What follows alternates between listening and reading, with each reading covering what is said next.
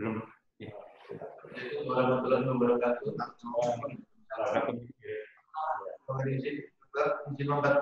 Nama saya Iwan Putra, Presiden Urologi semester 3 dokter. Uh, pada kesempatan kali ini saya akan membagikan jadwal meeting tentang trauma ginjal. Jadi trauma ginjal merupakan trauma urologi yang paling sering. Trauma tumpul adalah penyebab paling sering. Kita terdapat 10 hingga 90 dari semua jenis trauma ginjal.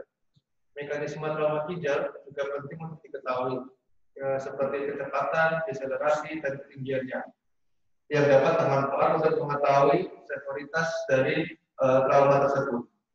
Trauma penetrasi ginjal paling sering disebabkan oleh luka tembak, luka tusuk, dan trauma penetrasi akibat abdominal diri organ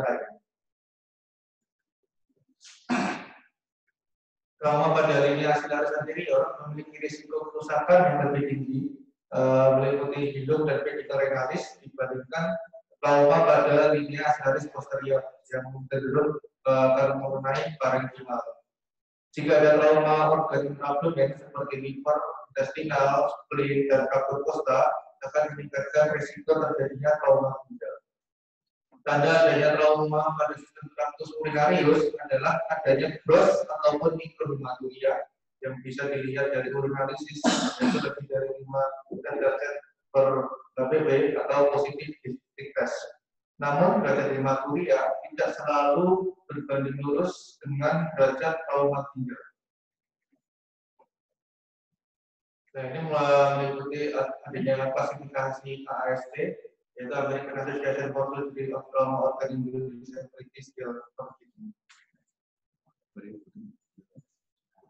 Jadi uh, pada grade 1 itu adanya dibagi jadi dua, adanya kontusio dan adanya hematom. Kontusio itu adanya temuan mikroskopik ataupun hematorik tanpa adanya kelainan pada struktur ginjal. Kemudian grade 1 yang hematom ditemukan adanya subkapsular atau pembengkakan pada subkapsular ginjal kedua itu dibagi jadi dua ada yang uh, pertama hematom yang terbatas pada uh, perirenal dan tipe laserasi uh, yaitu laserasi ginjal kurang dari satu cm pada uh, parenkim. Ketiga, uh, itu adanya laserasi lebih dari satu cm pada parenkim. Kemudian grade 4 kita jadi dua, yang pertama tipe laserasi yaitu adanya kerusakan parenkim meliputi dari korteks, medula hingga collecting system. Uh, hal ini bisa menyebabkan serapasasi tubuh. Kemudian grade keempat yang tipe laserasi, uh, tipe vaskular, itu adanya injury pada uh, vaskular, namun belum sampai apolisi.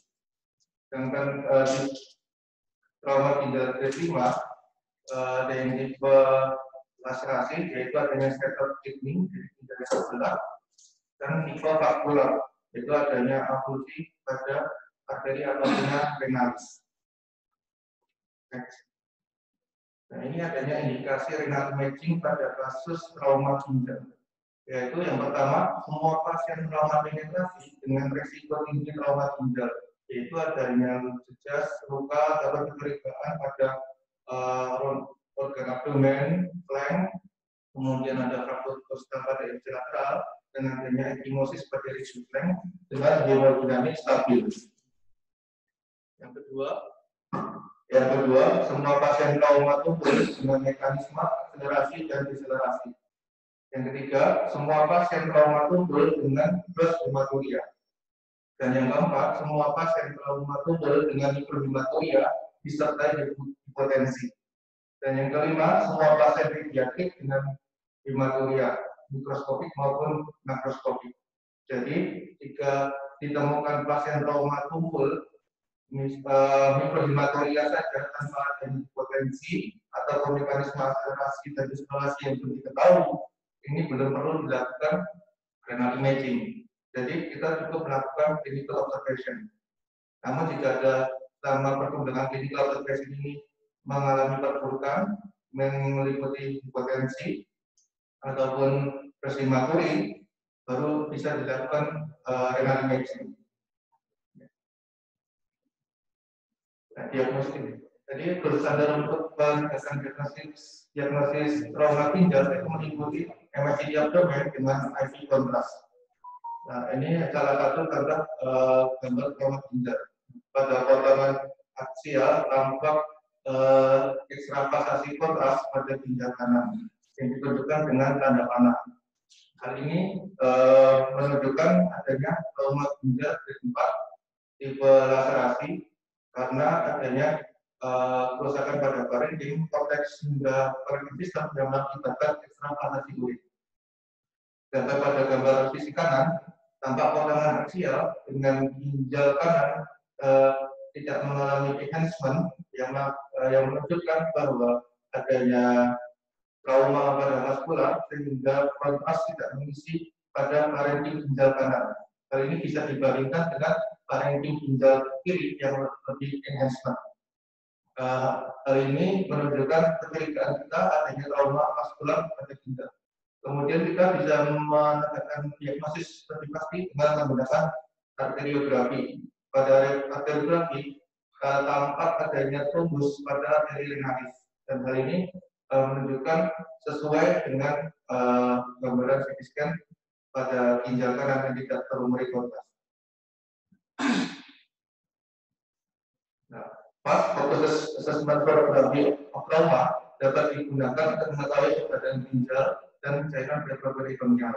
Namun pas itu memiliki keterbatasan, yaitu memiliki sensitivitas yang rendah pada pasien obesitas, kemudian adanya udara subkutaneus dan riwayat operasi sebelumnya. Pas juga tidak dapat membedakan jenis cairan retroperitoneal, apakah itu hematom atau ekstravasasi urin. Nah, kalau pada CT scan kita bisa membedakan jenis cairan retroperitoneal apakah itu hematom atau eksternalisasi urin yaitu dengan melihat pada heartbeat unitnya. Jika HU kurang dari 20 itu bisa menunjukkan adanya urin dan lebih dari 20 itu bisa mengarah ke kecurigaan terhadap hematom. Uh, kemudian bahan IPP dapat digunakan saat uh, durasi operasi ditemukan hematom retroperitoneal di sekitar ginjal, di mana sebelumnya belum pernah dilakukan MSI abdomen dengan kontras karena trauma dengan hemodinamik yang tidak stabil. Dan tujuan dilakukan wajib IPP untuk mengetahui fungsi ginjal kontralateral, sehingga perlu adanya pertimbangan yang lebih saat akan melakukan anastektomi pada ginjal yang mengalami cedera. Dan itu bahasa IPP juga bisa menilai jika ginjal yang mengalami cedera itu ada kelainan ekstravasasi urin atau tidak. Jika hasil dari wajah IPP itu normal, data exploration bisa dihindari.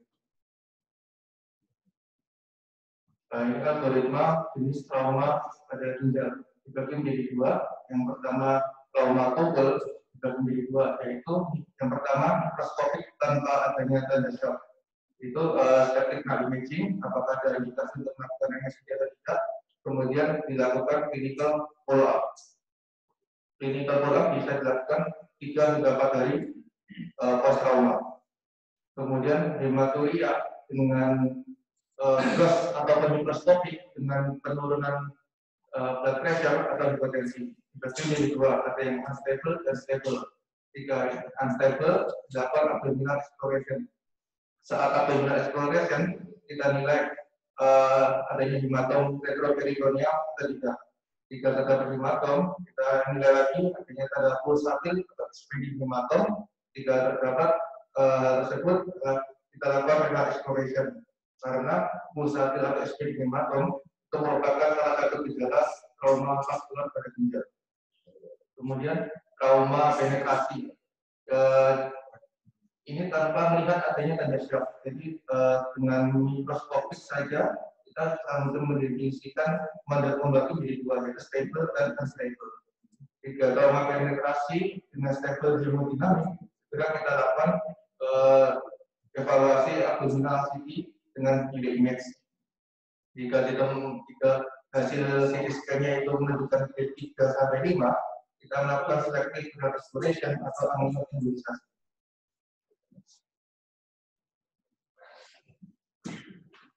Nah, semua pasien AST 1 sampai dengan 4A dengan hemodinamik stabil dilakukan manajemen konservatif.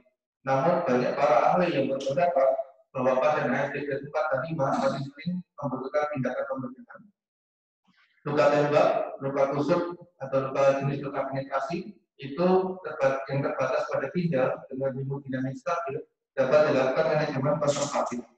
Namun jika sampai ketiga, empat atau lima diperlukan tindakan pembedahan karena dapat meningkatkan risiko gilir bleeding dan adanya kemungkinan trauma di organ lain. Kegagalan manajemen konservatif dapat dipengaruhi oleh uh, severitas atau bleeding pada EST tadi, kemudian keterlibatan organ non-renal, dan uh, jenis trauma penetrasi. Nah, pasien dengan hemodinamik yang tidak stabil dan kegagalan resusitasi membutuhkan tindakan pembentukan secepatnya atau dengan aneurisasi. Manajemen konservatif pada kasus ekstravasasi urin dapat resolusi spontan hingga 90%, kecuali adanya afusi habis penalis atau ureter proksimal. Nah, adanya ekstravasasi kontras pada bagian medial ginjal dengan ekstravasasi kontras pada bagian ureter distal itu bisa menunjukkan kecurigaan kita adanya afusi UPC. Dan jika ada cairan hematom atau urinoma pada perinatif, dapat dilakukan pemasangan unit stenting atau melakukan mikroskopi untuk drenase. Nah, ini uh, indikasi operasi terbagi dua, yaitu ada absolut dan relatif. Nah, indikasi absolut tindakan operasi yang pertama adanya gangguan hemodinamik dengan kegagalan respon resusitasi. Yang kedua, adanya expanding pulsatile renal hematom atau merupakan standar dari laserasi materi penalis. Yang ketiga, adanya pulsi pedicle vascular renalis dan yang keempat, adanya pulsi pada UPC. Indikasi relatif pada fase operasi yang pertama, adanya ekstravasasi urin dengan divaskularisasi parenkim renalis. Yang kedua, adanya ekstravasasi urin dengan parenkim injuri. Dan yang ketiga, adanya trauma ginjal disertai trauma kolon atau pankreas atau motosenal dan lainnya. Dan yang keempat, adanya arterial thrombosis. Uh, ini rekonstruksi renalis, prinsipnya yang pertama dengan kompleks renal exposure, kemudian vascular control, menonjol tisu, hemostasis, water precursor pada breathing system, kemudian menentukan efek pada parenkim dan menutup parenkim dengan jaringan adiposa pada pasien kita. Ini contoh teknik vaksinektomi uh, yang pertama yang gambar A menunjukkan kita harus mengeksposur dulu semua bagian dari ginjal, uh, kemudian arterinya, dan kemudian kita memotong bagian jaringan yang sudah non viable. Setelah dipotong, kita kontrol pendarahan dan kita tutup jaringan kolektif collecting system, kemudian disambung dengan momentum pada uh, kita baca dengan momentum. Ini contoh trauma penetrasi dengan renorapi uh, yang gambarkan menunjukkan jenis awal traumanya, kemudian itu uh, kita melakukan treatment kemudian kontrol vaskular hemostasis dan menutup pada collecting system. Kemudian eh, bagian C kita melakukan batas dari eh, parenkim yang akan kita jahit. Kemudian gambar B itu menunjukkan eh, pos jahitan. Ini eh, contoh tampakan ginjal dengan trauma vaskular. Kemudian gambar yang di yang tengah itu kita klaim dulu dan proximal, kemudian kita perbaiki vaskular sehingga uh, kendaraan bisa berhenti. Komplikasi yang bisa ditimbulkan uh, karena trauma ginjal, yang pertama bisa pendarahan, yang kedua infeksi, yang ketiga perinaptic abscess.